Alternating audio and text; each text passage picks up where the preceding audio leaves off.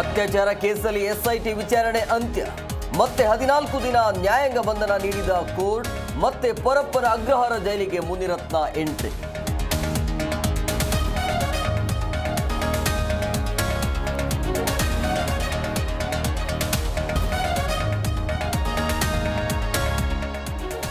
CM Siddaramaiah ಸ್ವಚ್ಛ, ದಕ್ಷ ಆಡಳಿತಗಾರ.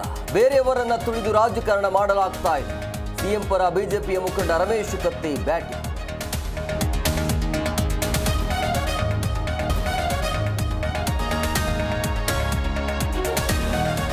ಎಣ್ಣೆ ಪ್ರಿಯರಿಗೆ ಮತ್ತೆ ಶಾಕ್ ನೀಡಲು ಮುಂದಾದ ಸರ್ಕಾರ.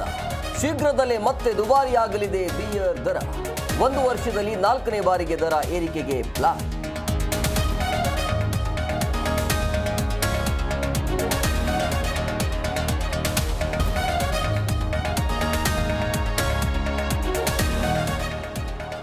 ಮೈದಾನದ ಗೇಟ್ ಬಿದ್ದು ಬಾಲಕ ಸಾವು ಪ್ರಕರಣ.